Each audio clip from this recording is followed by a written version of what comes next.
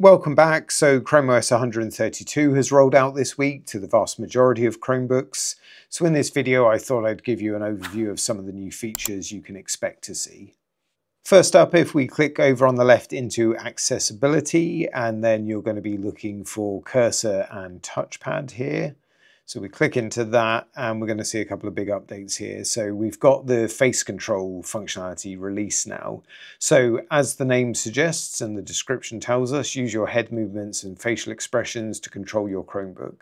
There's a really good article if you click into learn more here as well that gives you a lot more detail on exactly how you should be using this and setting it up. But the idea is it's pretty intuitive and it's going to use the webcam to look at your eye movement, your head movement, your mouth movement to allow you to use it to navigate your Chromebook.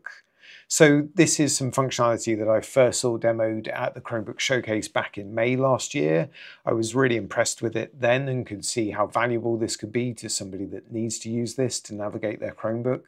So if we want to turn this on and take a look, let's minimize that out of the way. So the toggle to turn it on is at the top here. So I'm turning it on. I've got my webcam privacy shutter open. You see that the icon appears straight away to say that we're using it. And this slightly less smooth movement of the mouse as I get used to it is just me using my head to control and move the mouse around. So it's really clever. I really recommend taking a look at this, whether it's something you use or someone you know may be able to make use of it. Um, if I move right down to the bottom here, you can see that the default option, for example, to left click is a smile. You can obviously click into these and change it, and you open your mouth wide as the default option for scrolling. So it's something that's just really clever, and for those that can take advantage of it, it's really going to revolutionize, I think, the way they access their Chromebook and the web. Okay, so turning face control off for the moment. The other option I wanted to show you that's new, I believe, in Chrome OS 132 in the accessibility menu under the cursor and touchpad is you've now got the option here to disable the built-in touchpad.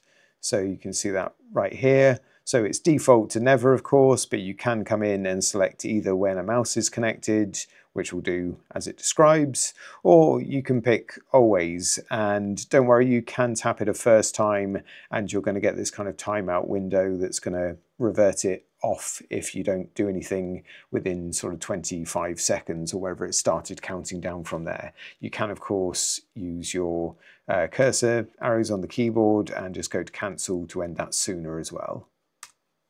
Next up, if I'm back into the Chrome browser and I click on the menu in the top right, under passwords and autofill, I'm going to go into the password manager.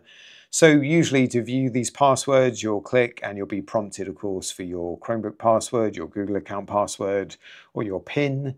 So if you're lucky enough to have a Chromebook with a fingerprint reader like this, the Acer Chromebook Plus Spin 714 that I showed on the channel last year, you can now use that fingerprint reader to authenticate in the Chrome browser for both your passwords and for autofill data.